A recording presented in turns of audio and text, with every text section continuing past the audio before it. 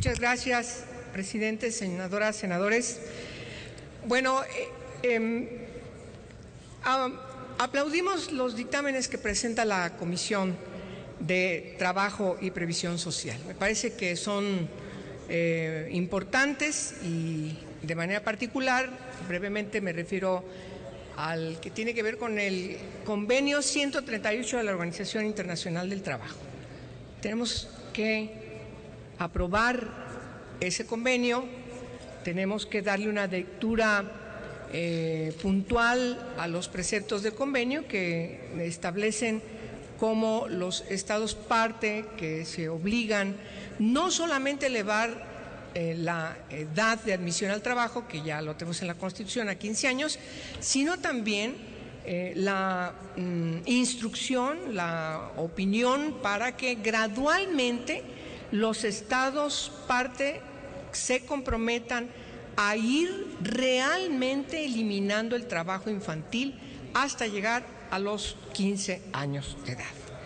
Yo creo que es eh, lo mínimo que le debemos a la niñez de nuestro país que efectivamente ejerza sus derechos a la educación, a la recreación, al recreo, a la cultura y por supuesto eh, no eh, trabaje. Eh, son mm, cuestiones importantes y, tenemos un pendiente, aprobar el 138 de la OIT, aun cuando ya reformamos la Constitución.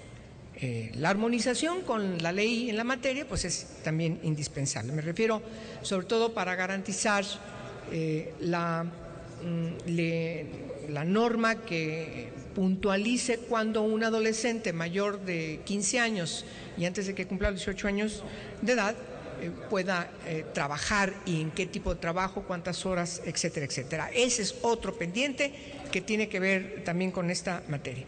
Me circunscribo al dictamen que tiene que ver con la, eh, el exhorto que se hace al Poder Ejecutivo Federal respecto de la aprobación del convenio 189 de la Organización Internacional del Trabajo. Reitero, aprobación con todo respeto, pediría de manera económica, presidente de la mesa, si está de acuerdo la comisión, que corrijan el punto y cambien el término ratificación por aprobación. Es algo que tenemos que corregir porque el Senado no ratifica tratados internacionales. Lo que hace la facultad, la potestad del Senado de la República es aprobar tratados internacionales. Hay que corregir ese verbo porque es muy importante.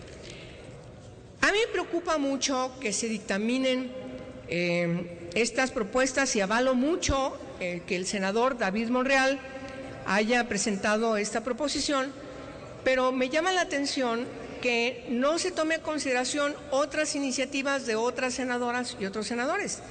Desde el 6 de septiembre de 2012 presenté el punto para exhortar al Ejecutivo, es decir, desde el inicio de esta legislatura, para que el, titular del Poder Ejecutivo Federal envíe para su aprobación al Senado de la República el convenio 189 que trata ni más ni menos que reconocer los derechos laborales de las y de los trabajadores del, el, del hogar. Eh, más del 90% tiene que ver, por cierto, con los derechos de mujeres, las trabajadoras del hogar. Los hay también hombres, pero la inmensa mayoría son mujeres. Simplemente recuerdo que este es un pendiente que eh, venimos también arrastrando para reconocer los derechos de más o menos 3 millones de personas, mujeres, en su mayoría, insisto, mujeres que no tuvieron oportunidad de estudiar, la inmensa mayoría, mujeres que vienen de los pueblos indígenas, por eso sufren tanta marginación, por ser indígenas y por ser mujeres, mujeres que vienen de las zonas rurales, que no tienen otra condición de realizar una profesión más que el ir profesionalizándose en el trabajo doméstico y que hoy tenemos que dignificar, ni más ni menos, con este convenio. Hay experiencias muy importantes en América Latina que México podría aprovechar de cómo empezar a aplicar este convenio. Yo destaco que en las diversas en las diversas reuniones que hemos tenido eh, en el marco de convocatorias de la Secretaría de Relaciones Exteriores, en donde participan otras instituciones, el problema está en el Instituto Mexicano del Seguro Social. Por cierto, no en la Secretaría de Previsión Social, sino en el IMSS. Por eso me parece que es necesario, quienes compartimos esta preocupación, quienes tenemos compromiso con las trabajadoras del hogar, con los trabajadores del hogar, que lo hagamos en serio y también convoquemos al responsable del Instituto Mexicano del Seguro Social para que nos diga por qué está detenido este, eh, esta iniciativa que el Ejecutivo debería mandarnos al Senado de la República y que no lo hace porque lo tiene detenido el Instituto Mexicano del Seguro Social. No ahora, lo tiene desde el sexenio pasado. Es cuanto y muchas gracias por su atención.